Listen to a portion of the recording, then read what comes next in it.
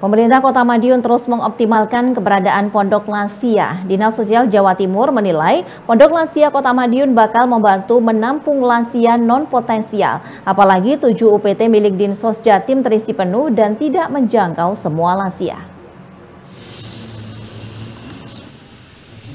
Permasalahan lansia menjadi atensi Dinas Sosial Provinsi Jawa Timur. Dari data yang ada saat ini, terdapat 6,4 juta lansia berumur 60 tahun ke atas yang ada di Jawa Timur.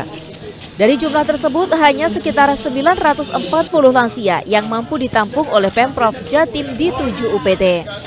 Kepala Dinas Sosial Provinsi Jawa Timur Restu Novi Widiana saat menghadiri perjanjian kerjasama atau PKS pengelolaan dan pelayanan pondok lansia antara Pemprov Jatim dengan Pemkot Madiun di Balai Kota Madiun menjelaskan pondok lansia Kota Madiun telah melalui serangkaian tahapan mulai dari Kemendagri, Kementerian Sosial hingga Pemprov Jatim. Dengan adanya pondok lansia ini bisa membantu kewenangan yang harusnya dijalankan oleh Pemprov Jatim Jaminan sosial kepada para lansia khususnya di Kota Madiun dapat tercover dengan baik.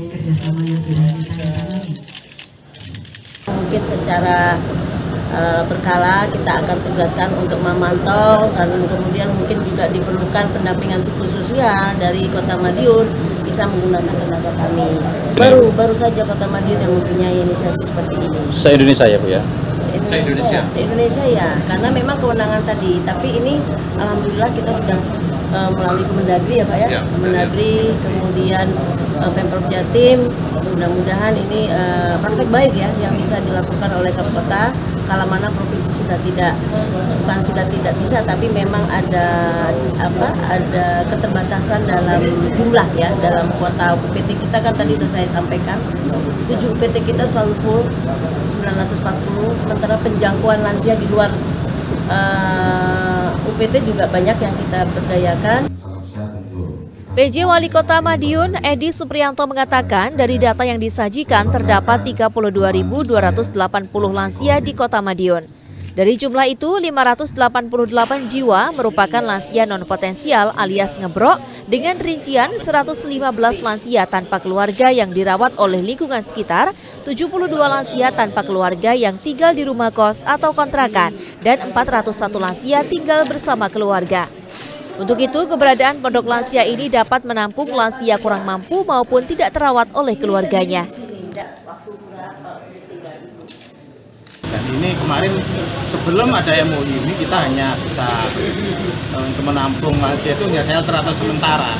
Tapi setelah dengan adanya perjanjian kerjasama ini nanti lansia yang ngebro atau yang apa yang di sana nanti bisa sampai di sana sampai mandiri diambil keluarganya atau tidak yang tidak punya keluarga ya sampai di sana sampai selamanya.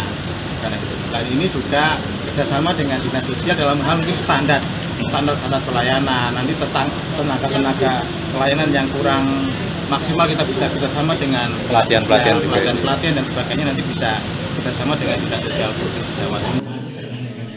Pemprov Jatim dan Pemkot Madiun akan melakukan penguatan mitigasi sebagai pencegahan agar lansia tidak terlantar. Pasalnya, beberapa kasus yang ditangani salah satunya lansia terlantar yang keluarganya tidak diketahui. Kriswanto, CTV, Madiun.